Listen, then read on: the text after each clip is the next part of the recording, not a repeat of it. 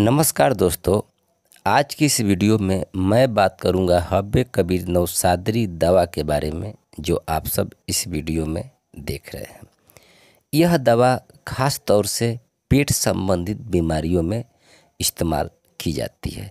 बहुत ही अच्छी दवा है दोस्तों, और यह एक यूनानी दवा है, और यूनानी फार्मेसी की सभी कंपनियाँ इस नाम से बनाती है।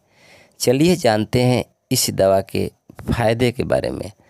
दोस्तों, अगर बहुत ही ज़्यादा गैस बनती है और गैस बनने की वजह से पेट में दर्द होता है, सर में दर्द होता है या पूरे बदन में दर्द रहता है तो ऐसे समस्या में यह दवा बहुत ही गजब की काम करती है। यह कब्ज को दूर करती है। अगर आपको कब्ज की भी समस्या है तो उसमें भी अगर आप इस दवा का इस्तेमाल करते हैं तो यह कब्ज को दूर करती है। दोस्तों, अगर आप बहुत ज़्यादा खाना खा लेते हैं और खाना खाने की वजह से आपका पेट फूल जाता है, खट्टी ढकार आती है और पेट में दर्द होता है। तो इस दवा के इस्तेमाल से ये खाना को पचाता है, गैस को दूर करता है और खट्टी ढकार को ठीक करता है। इतना गजब का इसका रिज़ल्ट है दोस्तों, ऐसे समस्याओं में।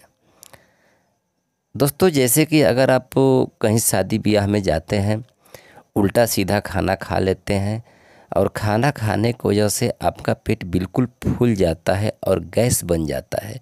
तो आप इस दवा का मात्र दो गोली इस्तेमाल करिए, आपके खाने को पचाता है और ये गैस को दूर करता है, आपके पेट में बहुत ही राहत पहुंचाता है यह दवा।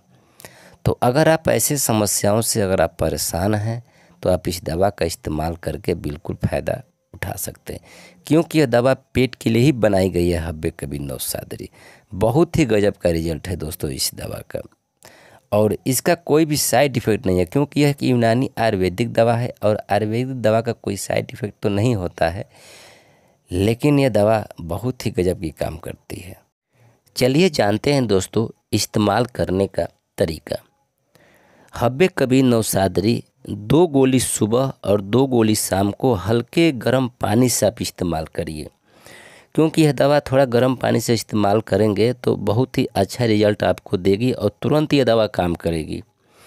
तो आप इस दवा का इस्तेमाल करिए, आप लोगों को बहुत ही अच्छा फ़ायदा मिलेगा।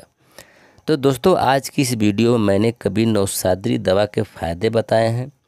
अगली वीडियो में कुछ और दवाओं के बारे में बताएँगे। तो अगर हमारे चैनल पर आप पहली बार वीडियो देख रहे हैं तो हमारे इस चैनल को सब्सक्राइब ज़रूर करिए, घंटी को दबाइए और लोगों में शेयर ज़रूर करिए। नमस्कार।